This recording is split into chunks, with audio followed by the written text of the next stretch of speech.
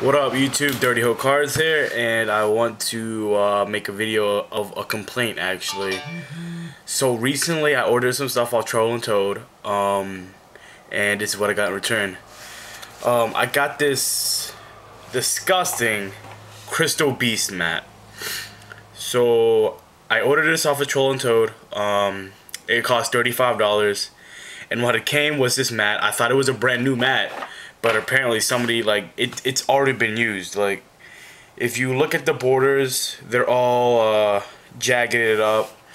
Um, it's it's it's old like this spillage in the middle of the mat um, mysterious like juices. I don't, I don't really know what that is.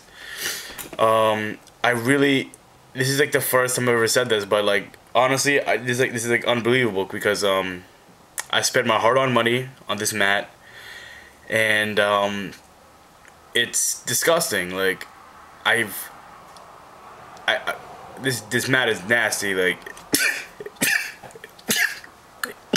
damn, what the fuck? like, there's random stains on it. Like, it's it's just an old mat, which I paid for a new mat. So I'm I'm really disappointed in Troll and Toad at this time.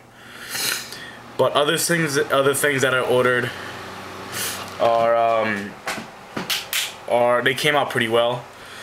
Uh, another thing that I ordered was uh, this uh, Monster Protectors binder.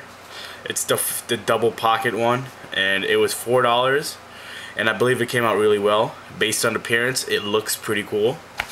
But inside, um, it's actually pretty cool because all the cards are snug and, and uh, protected.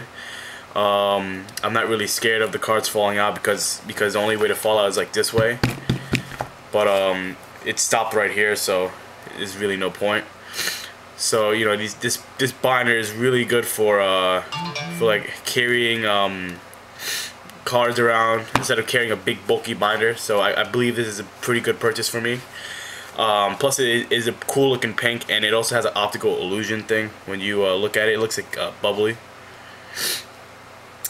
And uh, next, we're gonna move on to the next segment, which is um, deck boxes. Um, I have uh, about five uh, varieties of deck boxes. Um, I have the I have this uh, deck box, which is um, closed seal without the without the Velcro. It's a tight fit. I mean, um, this is about three dollars, which I purchased. Um, it is a pretty good deck box. If you are a uh, like a rookie or something, I would get this, or just or you just want to protect your card. It's about three dollars. It's uh, virtually cheap. Um, plus, it looks cool, uh, especially this yellow one. And um, yeah. Next deck box we got is this big uh, bulky deck box. It is uh, it's it is about one eighth bigger than the old one, the the yellow one. Um, this one costs about four dollars. It, it it is also uh, like a flap seal, I believe. So when it closes, it opens, closes, and opens. Um, there's a lot of room in here. You could probably fit like two decks in here, probably one deck and a lot of extra side decks. Um, it is a really good deck box, I believe. I believe this one's more durable than this one though. So we're gonna move on. Next one we have is this uh, flappy kind of one, which flaps up from up top from here. Um, I got two of these. I have this one, and I also have this one with a princess on it. Um, so this one flaps up. Uh, comes with this um, uh, divider. Uh, I bought this for about, I believe, $5 or $4. Um, it has a pretty cool design on it. Um, so does this one. This one comes with uh, dividers. Uh, I put sleeves in here to, to hold my sleeves and uh, I believe this one is uh, a, a, step up from uh, these guys.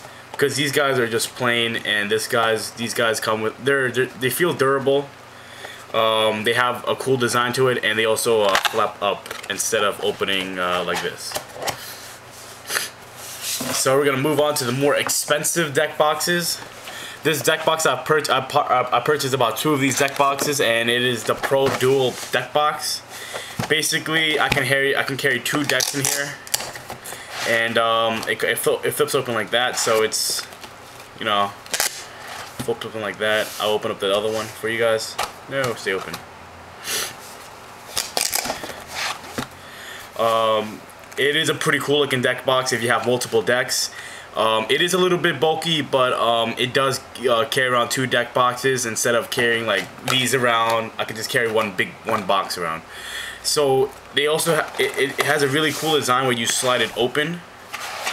It can carry about two decks and and extra decks. Um, it comes with two dividers. I bought this for about six dollars, and I really like this deck box. Um, so I, if you guys have the money, I would definitely buy purchase this deck box because you can carry a deck. Even if you don't have two decks, you can just carry extra decks and sleeves and and uh, your side decks and whatever decks you, whatever extra cards you need in here. And overall, it's a pretty good deck box. I purchased this deck box for about six dollars. Um, it's a pretty good one. So next, I have the one which I use myself for my uh, my tournament decks. Um, I use this uh, Yu-Gi-Oh! Uh, dual box thing.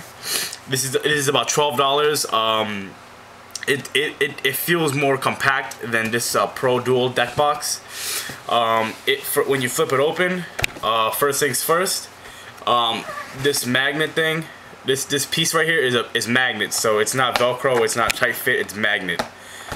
Um, this deck box carries two um, decks and you can slide out these panels so you can uh, pretend uh, you're using this one deck and you can just close this up and then you just, just slide these out instead.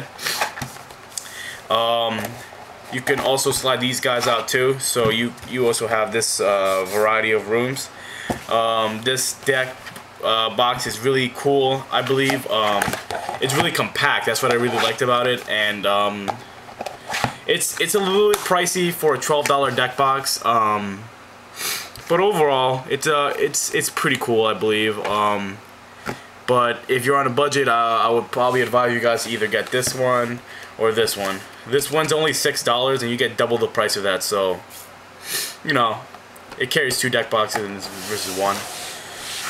Alright, so that's basically it for the segment, guys. You know, just uh, leave a comment what you think, what you liked about it, what you didn't like about it. Um, and tell me what you guys think about this match. You like, what should I like? send it back to Troll and Toad? Should I, uh, you know, clean it off or what? Like, just just let me know and you know, we'll get it started. So thanks you guys for watching. Please subscribe.